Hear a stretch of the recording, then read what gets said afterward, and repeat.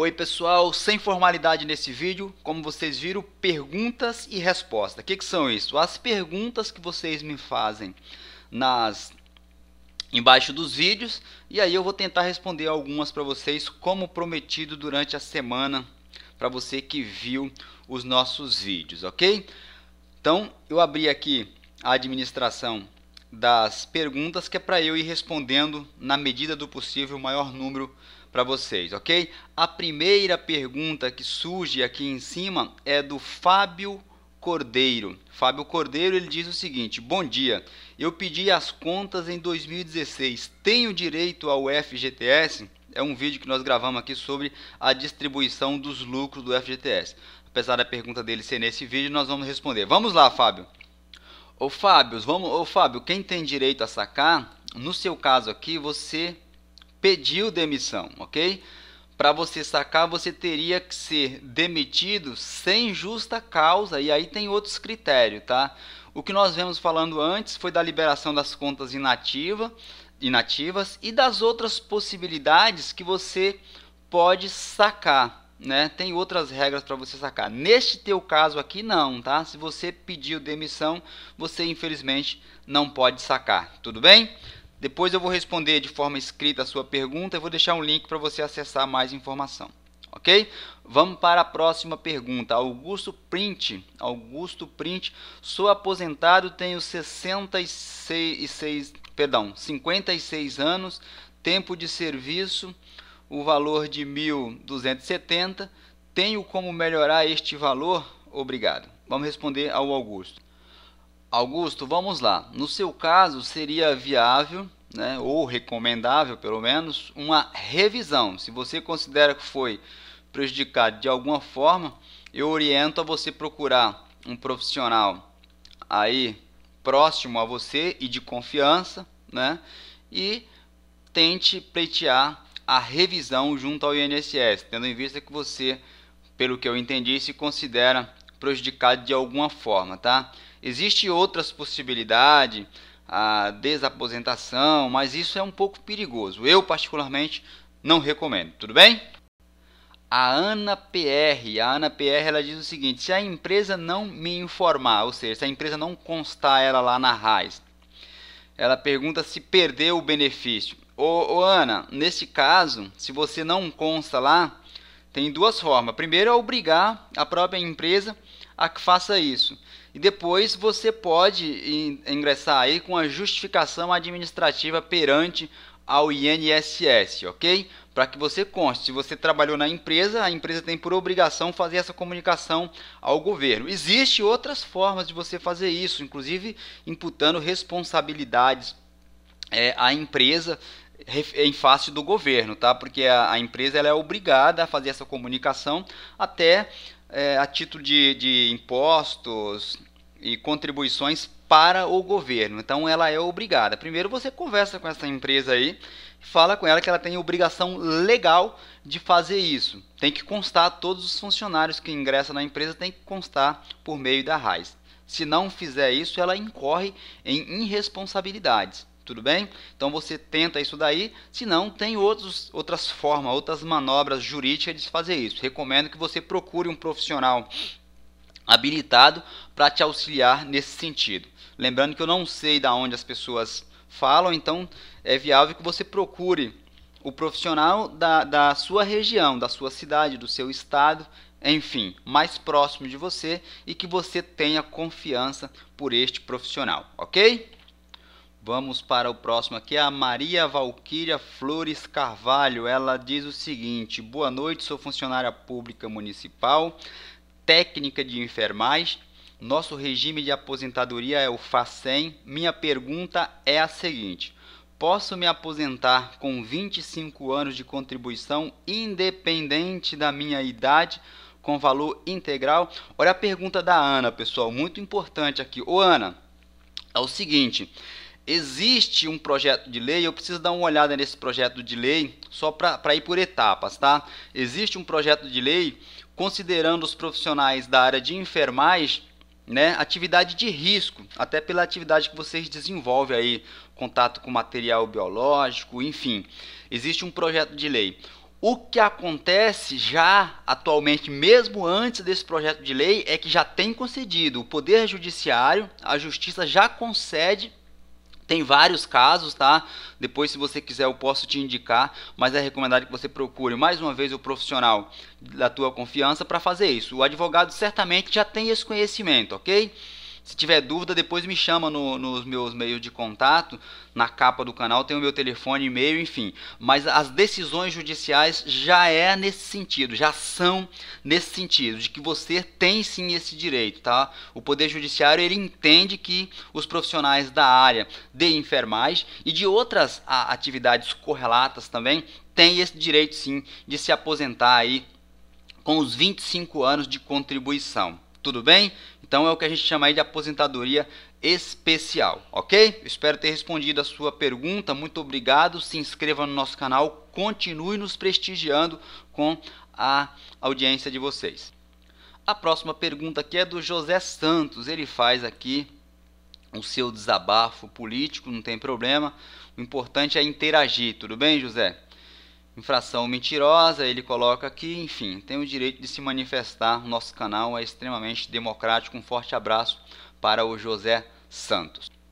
A outra pergunta aqui é da Edna. A Edna pediu demissão, tinha 5 anos e meio de empresa em junho de 2018. Tem o direito a sacar o saldo inativo.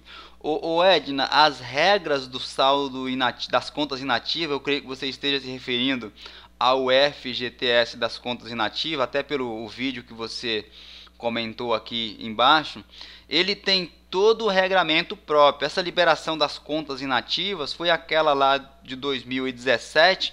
Você pode continuar sacando as contas inativas até, dois, até dezembro de 2018, mas aí você tem que ter uma justificativa por que, que você não sacou na época certa, tudo bem? Então, eu espero estar respondendo a sua pergunta. Essas contas inativas o governo liberou em 2017, teve as datas, né? Eu, eu escrevi sobre isso, gravei vídeos sobre isso, dê uma olhada no nosso canal que está bem explicado nos nossos vídeos, todos o, o regramento aí, os regramentos, desculpem, é, para você fazer o saque das contas inativas do FGTS, tá? Tem link para o blog te explicando, deixei vários links aí, tá bem explicado mesmo.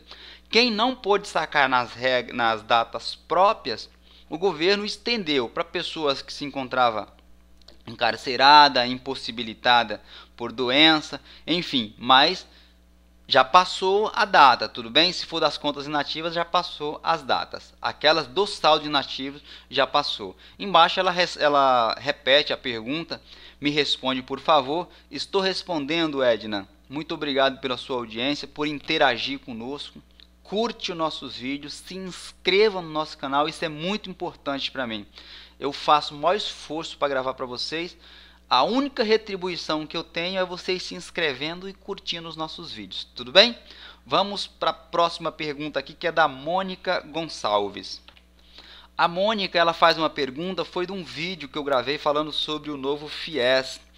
Eu já respondi a Mônica aqui embaixo, mas vou reforçar agora, que foi um vídeo recentemente que nós gravamos explicando as novas regras do FIES. O que a Mônica perguntou é se ela poderia ter a certificação do segundo grau por meio do, do programa do Enem. An an anteriormente, o que acontecia? Você prestava o Enem tanto para obter a aprovação em vestibulares ou pleitear vagas nas faculdades, mas até 2016 você também, além dessas possibilidades, o Enem disponibilizava outra possibilidade que era você fazer o Enem e concluir os seus estudos. Para aquelas pessoas que não concluíram os estudos no, no, tempo regular, no tempo hábil, então você poderia prestar o Enem, se você fosse aprovado, você concluiria os seus estudos, você receberia o certificado de conclusão do segundo grau. Agora mudou, não pode mais, o Enem não aceita mais essa modalidade, mas em contrapartida, você pode fazer um exame equivalente. Antigamente tinha em todos os estados da federação, cada um tinha o seu. Aqui no estado de São Paulo, por exemplo, tinha um. Agora o governo federal através do INEP, né, o próprio INEP fez o exame nacional, inclusive quem mora fora do país pode prestar esse exame, que é o ENSEJA, o Enseja você se inscreve, abre inscrições como o Enem, anualmente e você pode se inscrever jovens e adultos, né, que vai ser certificada a sua competência. Ou seja, você vai concluir os estudos. Pessoal, é muito importante isso, tá? Se você não tem a conclusão dos estudos, fique atento a este exame, porque é interessante você ter a conclusão dos seus estudos. É muito importante isso. Independentemente da sua idade, faça isso. Um pedido meu, um apelo meu, isso é de extrema importância. importância. A gente, nós, só vamos mudar no nosso país quando tivermos uma população educada e qualificada, ok? Forte abraço para vocês. A Rosa Maria Mana Moreno, ela faz uma pergunta importante aqui, é sobre a situação dos saques lá do abono, eu creio que ela esteja se referindo, que eu coloquei aqui no vídeo que ela comentou embaixo. Ela diz o seguinte: Olá, me tire uma dúvida e quem trabalhou antes como em 85 em empresas e depois em 87 como funcionária pública, como faz? Ela está se referindo aqui, pessoal, ao PIS e ao PASEP. Vamos lá, Rosa. É, você faz o seguinte, é simples, a sua situação é muito simples, tá? Você vai tirar, fazer uma consulta do seu saldo no PIS na Caixa Econômica Federal. O saldo que tiver no PIS, você tem direito de sacar, tá? Lembrando que está em vigor ainda isso aí, você pode sacar. Está suspenso agora, mas vai retornar no, próximo mês.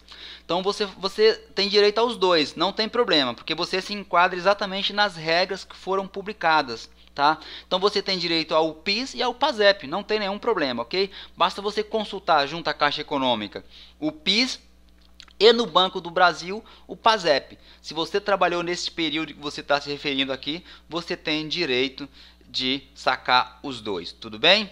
E aí nós vamos para outra pergunta, é a Luciane Lima. Luciane Lima, ela faz o seguinte: demora muito para falar. Você é baiano? Aff, que nervo. Ô, ô, Luciane, é que não é só você, tem mais gente que precisa das informações, entendeu? Eu, eu compreendo às vezes da, o problema da Luciane aqui, é que a pessoa ela quer ver o vídeo, mas quer já ir direto para a dúvida dela, quer ir direto para o interesse dela. É, devido à quantidade de informação que nós temos hoje, né? Então a gente quer ir direto e pensa só na gente, esquece da, das outras pessoas. Quando eu gravo um vídeo é para milhares de pessoas, então eu tenho que tirar dúvida de todo mundo. Eu tenho que falar o, o fato do início, tem que ter a introdução, meio e fim. Eu não posso, ah, eu quero saber só do PASEP, eu, eu, a minha informação é do PASEP, é só do PIS. Eu quero saber só se eu tenho direito ou não. Não é assim, infelizmente, né? Senão eu teria que ser contratado por cada um para responder a pergunta individual. Eu tenho que fazer as perguntas é, de forma coletiva. As dúvidas, perdão, as dúvidas de forma coletiva tem que ser respondida. Então eu gravo o vídeo para todos e não para uma única pessoa. E aí nós entendemos a compreensão aqui da Luciane, Luciane Lima, e ela pergunta aqui se eu sou baiano. Eu não sei se ela quer dizer que os baianos, se os baianos são devagar, devagar, né? São lentos. Mas enfim, nosso respeito ao povo baiano aqui e a compreensão é, peço a vocês que compreendam o que a Luciane tentou falar aqui. Eu tenho certeza de que ela não foi de forma alguma preconceituosa com nenhum irmão da nossa, da nossa federação. Tudo bem? Vamos para o próximo vídeo. A próxima dúvida é do Beto Castelo, acho que é isso. Beto Castelo ele diz o seguinte: Amigo Walter, por favor, me tira uma dúvida. Tenho R$ 6.200 em cotas do PIS do tempo de carteira de 1977 até 1988. Já vi o saldo no site da Caixa Econômica. Minha pergunta é: tenho conta poupança na Caixa Econômica Federal. O dinheiro, pelo que entendi, cairá ao automaticamente nessa conta. Vamos parar aqui.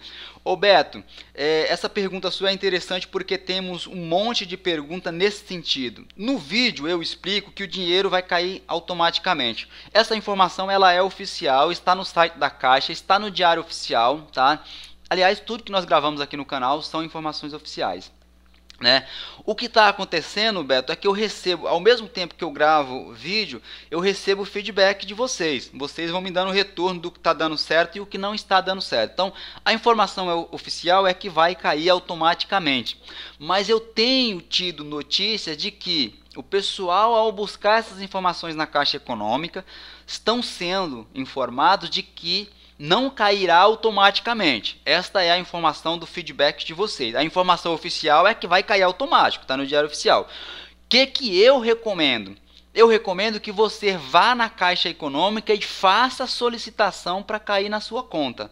Uma vez na sua conta poupança, aí sim, aí você pode deixar o dinheiro e usufruir dos rendimentos, dos lucros, tudo bem? Mas faça, só por precaução, por segurança, faça a solicitação. Vá pessoalmente na Caixa Econômica, faça a solicitação para que seja transferido da cota do PIS para a sua conta poupança. Tudo bem? Que aí você vai poder dispor desse dinheiro a hora que você quiser. Se você deixar lá na cota do PIS, você vai receber só aqueles rendimento, rendimentos anuais que o governo libera, tudo bem? E aí você tendo na sua conta, você pode dispor da maneira que quiser, como eu explico no vídeo. Dá uma olhadinha no vídeo. Aliás, eu vou fazer uma crítica aqui ao Beto pela pergunta dele. Percebe claramente que ele não assistiu o vídeo completamente. Se assistiu, ele não compreendeu, tá, pessoal? Então, eu, eu oriento a vocês que antes de fazer a pergunta, assista o vídeo do começo ao fim né? E, e, e, em determinados casos que faça uma busca no canal para ver se tem um vídeo que responde a sua pergunta, porque aí você vai economizar tempo, não vai ficar perdendo tempo esperando eu te responder e fazendo pergunta. Às vezes a sua dúvida está no próprio vídeo que você está assistindo. Então basta você assistir o vídeo do começo ao fim. Meus vídeos são curtíssimos, dá para assistir, tudo bem? Vamos lá. O Marcelo Silva, Marcelo Silva diz o seguinte: tem alguma coisa errada pois fui demitido sem justa causa. Veja que ele coloca aí sem justa causa no mês passado, mês 6 de 2018. Ele foi até a caixa, mas não conseguiu sacar. Eu vejo que tem saldo na conta, mas só depois de três anos sem registro na carteira que a caixa libera. Tem alguma coisa errada mesmo, viu, Marcelo? Tem que pegar essas informações direito. Se você foi demitido sem justa causa, o FGTS você tem direito a sacar, tudo bem? Se for o caso, procure alguém para te auxiliar nesse sentido, porque tem direito sim. É regra, é lei, está inclusive no próprio site da Caixa Econômica Federal, e mesmo que não tivesse lá, é lei. Você pode sacar sim. Verifica melhor essas informações. Às vezes a pessoa que te atende tem tanta má vontade que não te passa a informação correta, mas verifica isso porque tem direito sim. Se você foi demitido sem justa causa, você tem direito a sacar o FGTS, ok? Vamos lá, o Edu, Edu RJ, quem tem conta poupança vai cair diretamente na conta ou no cartão cidadão? Respondemos lá em cima, lá no Beto, tá vendo a pergunta do, do Edu? Ô Edu, é, eu creio que você já tenha assistido o que eu te falei lá em cima. A mesma forma lá do Beto, tá? Recomendo que você compareça na Caixa Econômica. No início do vídeo nós falamos sobre isso, respondendo a pergunta de um colega teu, ok? É, vai, é, vai, é para cair automático, tá na lei, tá nas informações, tá no diário oficial. Mas eu estou recomendando o pessoal ir solicitar a transferência porque, pelo feedback de vocês, tem tido problema de que a, as informações dos atendentes da Caixa Econômica não está sendo igual a que foi publicada. Está falando que é obrigado a comparecer para fazer a solicitação. Então, compareça, peça a transferência para sua conta, das, das cotas para a sua conta, ok? Respondido, vamos para a próxima pergunta. Olha a pergunta aqui da, do Davi, acho que é o Davi, tá tudo junto. Davi Barbosa aqui. Sou aposentado por invalidez, posso renovar minha habilitação? Ô Davi, grava o vídeo hoje, dia 8 do 7. Nós soltamos um vídeo anterior a este no canal. Anterior a esse, falando exatamente sobre a renovação da habilitação. Pode sim, você pode renovar, por quê? Porque a perícia que você é submetida lá no INSS é diferente da perícia que você da perícia ou exame que você é submetido ao Detran. Nós gravamos esse vídeo que você assistiu, tá? Falando essas informações. Tem decisão judicial, lá no vídeo eu cito uma decisão judicial, o vídeo eu publiquei hoje, dia 8 do 7, falando exatamente, Davi, da sua dúvida. Assiste o vídeo, é interessante. No link do vídeo eu coloco a na descrição do, do, do vídeo eu coloco o link da decisão lá no meu blog inteira, uma decisão do TRF4 falando sobre isso. Tem outras decisões nesse sentido. Na própria decisão que eu falei para vocês judicial de que pode sim fazer a renovação, o INSS não pode suspender nem a aposentadoria por invalidez, nem cortar o auxílio doença de pessoas que renovaram a sua habilitação. Assiste o vídeo do começo ao fim, indica aquele vídeo porque a sua pergunta é a mesma do monte de gente aqui no canal. Inclusive nesse vídeo aqui que você assistiu, nesse vídeo aqui que você assistiu, tem muitas perguntas. Basta você dar uma olhada na, na, nas perguntas nos comentários, que você vai ver que a, a, mesma pergunta sua é a dúvida de um monte de gente. Então recomenda o vídeo que eu gravei hoje, soltei, porque responde a sua pergunta e responde mais um monte, ok? Um forte abraço para você o, Mar, o Mário, Mário Celso, ele faz o seguinte: o senhor poderia nos informar porque o INSS está deferindo, ou seja, concedendo, reconhecendo as doenças e encerrando o benefício na data de perícia? Te agradeço. O, o Mário, tá errado, né? Se ele está deferindo, se ele reconhece as doenças e encerra o benefício, tem alguma coisa errada. Foi isso que eu entendi na tua pergunta. Se ele fez isso daí, Mário, lembrando sempre que o INSS, quando a gente tem um indeferimento, nós estamos na instância, na esfera administrativa. Então, no caso do indeferimento, do encerramento do seu benefício, e mesmo havendo reconhecimento da doença, eu te eu aconselho, né, você ingressar na via judicial. Se você tiver dúvida sobre isso, me chama depois. Na capa do meu canal tem os meus contatos, telefone, e-mail. Me chama porque nesse caso compensa ingressar na via judicial, na Justiça Federal, tá? Eu te auxilio nesse sentido, independentemente de onde você esteja. Até você mesmo não precisa de advogado para ingressar, tá, pessoal? Na, na esfera federal, na Justiça Federal, para pleitear benefício do INSS, tudo bem? E nem no próprio INSS. Evidentemente que o profissional é a pessoa mais adequada para te auxiliar nesse sentido, mas se precisar de orientação, eu presto essa informação para você, não tem nenhum problema. Me chama aí no para nossos meios de contato que eu vou te orientar. E aqui Andréia Ribeiro, ela faz uma pergunta, ela trabalhou em, em 87, 88, 89 e nunca recebeu o salário, ela recebe só o jurinho, segundo ela aqui. Ô Andréia, o jurinho que ela recebe, pessoal, é o abono, tá? Ela recebe o abono. Todo ano você recebe o abono, que é de fato o juro que esse dinheiro rende lá para quem tem contas na cota do PIS e do PASEP. Agora, o André, é a oportunidade para você sacar e aplicar. Lembrando que se você sacar todo o dinheiro, você não vai ter mais o abono lá, tá ok? Você vai sacar todo. Mas se você tem saldo lá, recomendo que saque. O salário que ela menciona aqui, pessoal, tanto o funcionário público quanto o, o empregado da, da iniciativa privada, eles recebem, as pessoas que recebem até dois salários mínimos, né, que é um valor é, relativamente pequeno, você tem direito a um salário por ano, um salário mínimo por ano, que é o abono também, né? Então você recebe esse abono para você que se enquadra nessas regras, mesmo você sendo funcionário público, porque tem muita prefeitura que te paga menos que dois salários mínimos. Então você também tem direito. Eu acho que é isso, se é que eu entendi. Tá bom, Andréia? Se não for isso, faça a pergunta novamente. Aqui nós temos o Roberto. Roberto faz a sua manifestação política. Não tem problema, tá, Roberto? Pode se manifestar. O canal é extremamente democrático. Faça a sua manifestação né? Solicito que você nos prestigie compartilhando, curtindo os nossos vídeos, se inscrevendo no nosso canal. Ele faz a manifestação política dele aqui, não tem nenhum problema, desde que seja de forma respeitosa, até com as pessoas que assistem o nosso canal, muitas pessoas idosas, muita gente séria, pessoas evangélicas. Então peço só que você modere na, nas palavras, mas não tem nenhum problema em se manifestar em nosso canal a Débora Botelho, Débora Botelho fala que trabalhou somente em 88. Tem direito? Tem, tem que ver essa data que você saiu em, em 88, tá? Tenho que ver a data porque eu não estou com o calendário aqui aberto, mas salvo engano é até o mês 10 ou mês 4 de 88. Mas se você trabalhou de carteira assinada ou foi funcionária pública em 88, Débora, você teve a inscrição no PIS ou no PASEP. E se teve a inscrição, deve ter alguma coisa lá, tudo bem? Então tem sim a receber. E aí para encerrar, eu vou encerrar aqui.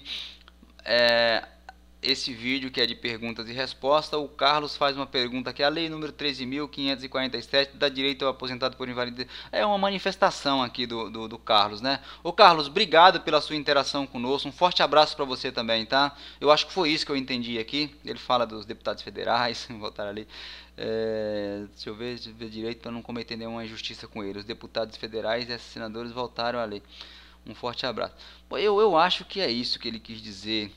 Eu não sei se ele faz a pergunta sobre a aposentadoria por invalidez, mas de qualquer forma, Carlos, obrigado pela sua interação conosco, por nos prestigiar assistindo o nosso vídeo. Um forte abraço para você, tudo bem?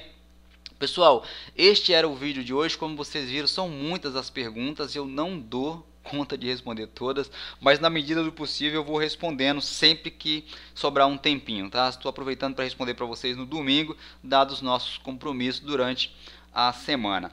Mas eu responderei a todos certamente. Faça a sua pergunta, fique atento aos nossos vídeos que eu responderei sem nenhuma dúvida as perguntas de vocês. Não se esqueça, pessoal, de se inscrever no nosso vídeo e clicar aqui, tá vendo esse, esse sinalzinho aqui, ó?